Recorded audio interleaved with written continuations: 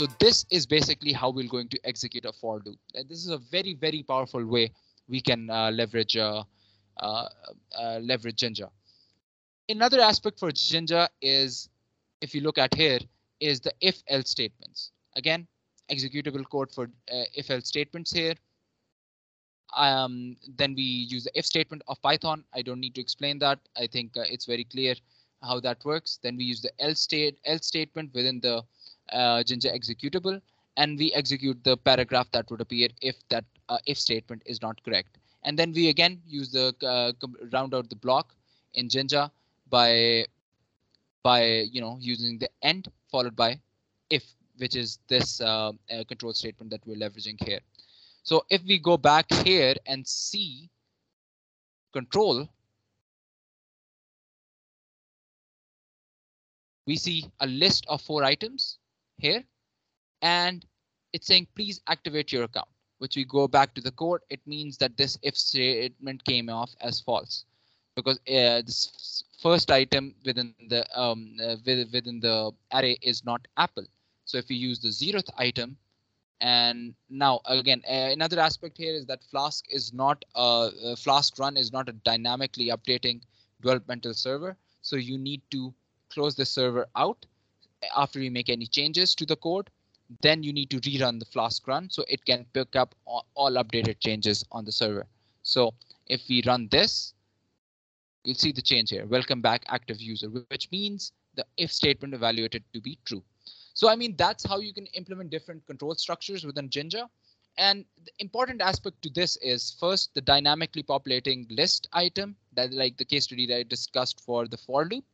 And another case for the if else statement, they're very commonly used in uh, uh, in Jinja or in Java HTML temp templates whenever we use a template engine because uh, we need to check for certain aspects to display certain things to users users based on if so, a certain requirement has been met or uh, any other factor basically.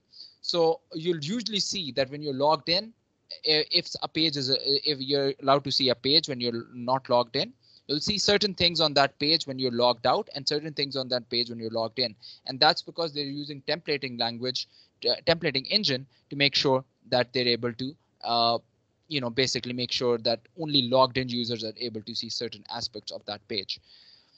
Um, now moving on to the next, uh, uh next I think uh, aspect of uh, Jinja and probably the last one that's important enough for us to discuss uh, because like there are a lot of different features in Jinja, just like the control struct uh, uh, control structure discussed above. But you can go to ChatGPT uh, and easily pull the uh, ask ChatGPT for more control structure aspects for Jinja or more Jinja features. But these are the most repeatedly used Jinja features and which are the most powerful features of Jinja that that you know most developers leverage. Now, uh, I think the, this is this is a this is a very commonly used like this is the most commonly used aspect of Jinja, which is uh, extension of templates. Now we need to understand that when we build HTML pages, there are very there are many aspects across pages that are repeatable. For example, the uh, the top of the page, the footer header of the page, the footer of the page, the navigation bar of the page, and uh, so on and so forth. If we go back to this base.html file that I created, right? If you look at this file, right at the top, we see HTML tags, doc type HTML, header tags, body tags, right? All of this is something that is repeated across the pages in exactly a similar fashion, including the navigation bar here. Now, one of the core principles of programming is a concept called dry. Do not repeat yourself, right? And that applies here as well, because uh, it's bad practice to repeat or copy paste your code. Like that's always bad practice. Like there's no exception to that. And if we go quote unquote, right, uh, repeat this uh, across all of these templating, uh, all of these HTML pages, A, it's going to become a hassle. Right now we have five pages, but let's say we have 200 pages, right? That that's going to become annoying. Just repeating all of this code, typing all of this code out. So at that point, we need to we need to identify a way where, where we can do this without repeating ourselves. And Jinja helps in doing that.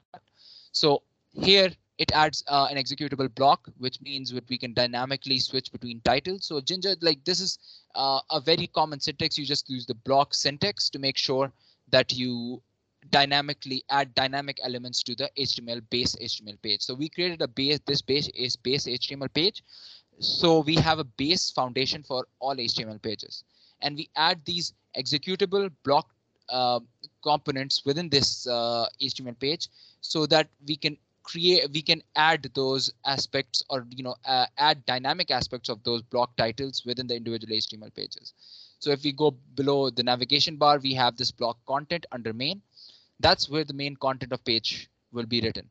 And here the default content of every page would be placed and it would override uh, it would be overridden by the derived templates which would be using this using extension feature of the Jinja template if we go to extend.html, where we basically are going to explain this feature. Now, uh, keep in mind, you can use extends or you can use include.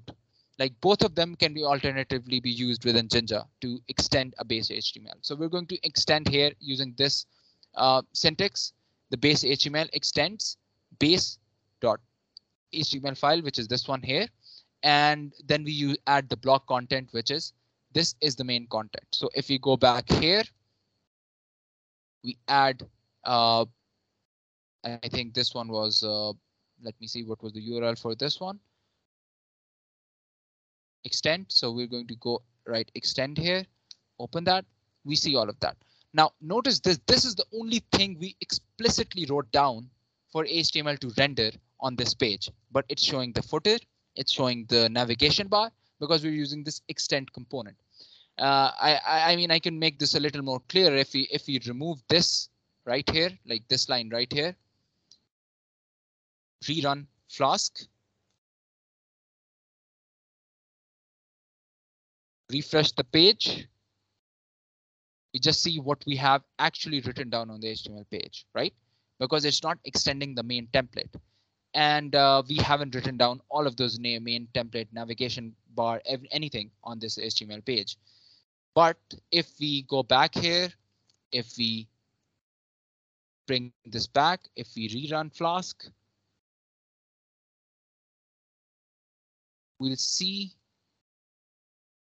that the navigation bar, footer everything there's the main content here. And like, uh, you know, uh, we don't need to repeat the navigation bar, footer bar, or all the HTML structure other than the base HTML file where we wrote that. So this is a very powerful and this is probably the most common uh, utility for uh, the template Jinja templating engine. Uh, basically, these are the main aspects or the main uh, components of Jinja that you'll be at most uh, dealing with most of the time. Any additional components, any additional features, you can look them up. There's a raw feature that uh, uh, there's a raw feature, there are other features, there's a macro feature, all of those, but those are not that much used at the same time uh, after you're familiar with the syntax and the these four five P features, uh, you can just look up those other features on Chat GPT. You can look at those features on Jinja's um, documentation, and uh, you can easily leverage them. Uh, uh, George, before we wrap up the video, the, uh, do you do you have any closing remarks? Uh, yeah, I mean, you know, um, you know, I think a great explanation, Mohammed. Uh, essentially, you know, as as we broke down in the video, you know, Django just allows you to create dynamic web pages, like embedding um, Python codes into these templates.